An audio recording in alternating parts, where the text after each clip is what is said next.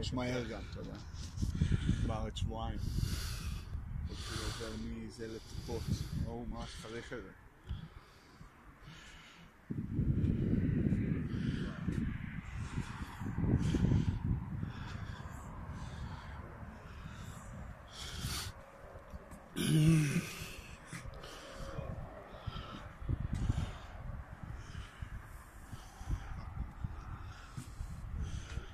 סליחה, פשוט היינו אצלו, היינו היינו שם.